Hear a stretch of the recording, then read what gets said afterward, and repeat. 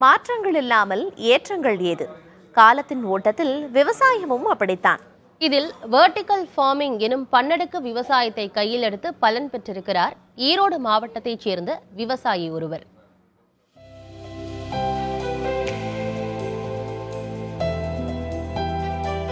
பாரம்பரிய தொழிலான விவசாயம் குறைந்த அளவே லாபம் தருகிறது என்ற நிலையை மாற்ற முடியும் என்கிறார் ஈரோடு மாவட்டம் சித்தோடையைச் சேர்ந்த விவசாயி சண்முக சுந்தரம் இடப்பற்றாக்குறை தண்ணீர் பஞ்சம் ரசாயன உரம் இவற்றை தாண்டி இயற்கை முறையில் நல்ல மகசூலை பெற முடியும் என்கிறார் அவர். இதற்காக இவர் தேர்ந்தெடுத்த முறை வெர்டிக்கல் ஃபார்மிங் எனும் விவசாய முறை. குறைந்த இடத்தில் அதிகமான செடிகளை வளர்த்து மனமகிழும்படியான மகசூலை கண்டுள்ளார் அவர்.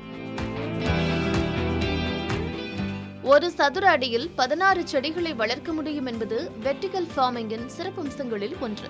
தக்காளி வெண்டை கீரை முள்ளங்கி கேரட் மிளகாய் என்று பல்வேறு செடிகளை இந்த முறையில் வளர்க்க முடிகிறது.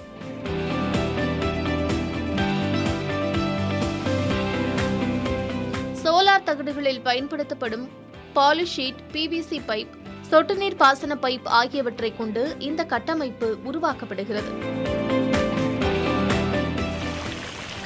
ஒவ்வொரு பகுதியிலும் மண் கோகோபிட் மற்றும் மண்புழு உரம் மட்டுமே பயன்படுத்தப்படுகிறது.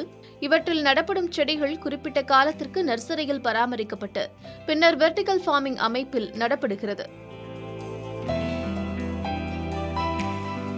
நம்ம வந்து கிரவுண்டில் பயிர் பண்ணுறத விட இந்த வெட்டி வாங்கில் பயிர் பண்ணுறது ரொம்ப ஈஸிவே ஒரு ஆயிரம் ஸ்கொயர் ஃபீட்டில் வந்து கிட்டத்தட்ட வந்து ஒரு பத்தாயிரம் ஸ்கொயர் ஃபீட்டில் விளைவிக்கிற காய்கறியை இந்த ஆயிரம் ஸ்கொயர் ஃபீட்டில் விளைவிக்க முடியும்.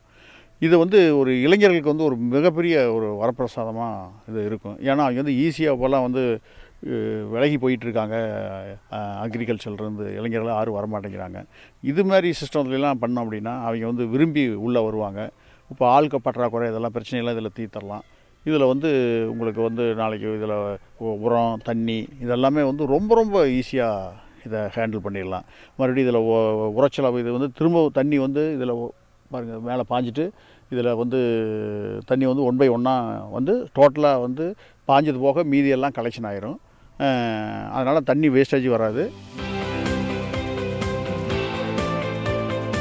வெர்டிகல் ஃபார்மிங் முறையை மாடியில் குறைந்த இடத்தில் மற்றும் ஒரு ஏக்கர் பரப்பளவில் என்று மூன்று விதமாக வடிவமைத்துள்ள சண்முக சுந்தரம். பொதுமக்கள் தங்களின் வீடுகளிலேயே இந்த முறையை செயல்படுத்த முடியும் என்கிறார்.